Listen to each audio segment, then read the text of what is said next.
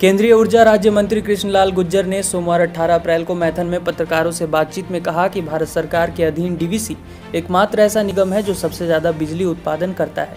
पिछले वर्ष बिजली उत्पादन के क्षेत्र में डीवीसी ने रिकॉर्ड कायम किया है। चार सौ चौरासी लाख मिलियन यूनिट बिजली का उत्पादन कर कीर्तिमान रचा है। डीवीसी बिजली उत्पादन के साथ विद्युत ट्रांसमिशन भी करता है। झारखंड में बिजली कटौती के बारे में केंद्रीय ऊर्जा राज्य मंत्री ने कहा कि देश के पास बिजली की कमी नहीं है। यह सरासर राज्य सरकार की विफलता है। राज्य सरकार अपनी नाकामी छिपाने के लिए केंद्र पर आरोप मढ़ने का काम करती है। बिजली का भुगतान कीजिए और बिजली लीजिए। केंद्र के पास बिजली की कोई कमी नहीं। इसके पहले केंद्रीय ऊर्जा राज्य मंत्री सोमवार को एक दिवसीय दौरे पर डीवीसी मैथन पहुँचे। मैथन स्थित गोगना ग्राउंड पहुँचने पर केंद्रीय राज्य मंत्री को डीवीसी द्वारा गार्ड ऑफ़ ऑनर दिया गया। उसके बाद उन्होंने पूरे डीवीसी का दौरा कर हर तरह की जानकारी दी। निगम क्षेत्र में पौधारोपण भी किया। पत्रकारों से बातचीत में ऊर्जा राज्य मंत्री श्री गुज्जर ने कहा कि भारत सरकार अपने सभी निगमों का दौरा कर अपडेट लेने का काम करती है। ऊर्जा के क्षेत्र में किस तरह काम आगे बढ़ रहा है? बिजली उत्पादन का काम किस गति से चल रहा है?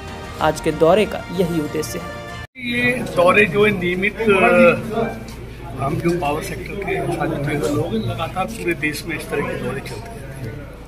जितने भी हमारे निगम हैं, उनकी जाके जानकारी लेना, कितना उत्पादन कर रहे हैं उत्पादन घटा है या बढ़ा है? आप लोग उसको जानते हैं और आपकी जानकारी बताना चाहता हूँ। कि जब से इस देश की बागडोर मोदी जी के हाथ में आई है, तब तब से पावर सेक्टर में अभूतपूर्व, मैं समझता हूँ, काम आप देख रहे हैं। उत्पादन भी बढ़ा है। और जब गाँवों में 10-12 घंटे बिजली आती है, बाईस घंटे बिजली आती है, शहरों में तेईस घंटे से अधिक बिजली आती है। और बिजली के सुधार के लिए अनेक योजनाएँ, चाहे वो सौभाग्य योजना है, चाहे वो रिवेम स्कीम है, तीन लाख से अधिक मतलब बिजली के नेटवर्क को भी सुधारा जा रहा है। उसके लाइन लॉसेस भी कम की जा रही है। नई नई टेक्नोलॉजी लेकर आ रहे हैं। और मुझे खुशी है कि जो डीवीसी जो हमारी दामोदर वैली कॉरपोरेशन है, उसने पिछले दिनों में अच्छा काम किया है। और ये ऐसा हमारा निगम है जो जनरेशन भी करता है डिस्ट्रीब्यूशन भी करता है और ट्रांसमिशन भी करता है।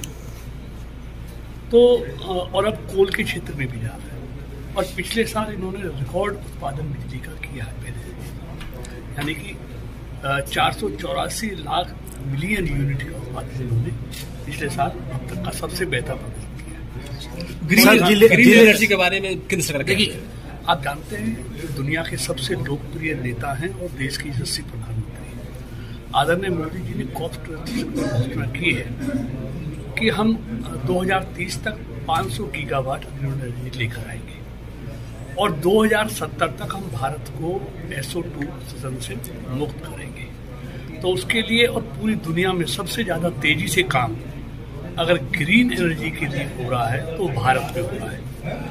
जो हमको 2030 में 500 गीगावाट उत्पादन करना है, आपको जानकर खुशी होगी, अब तक उसमें से एक सौ गीगावाट भारत का ये ऊर्जा विभाग अब तक उसका उत्पादन बढ़ा चुका है। तो एक बड़ी अचीवमेंट है, और आप सब जानते हैं, मोदी जी जो तय कर लेते हैं, उसको समय से पहले पूरा करते हैं।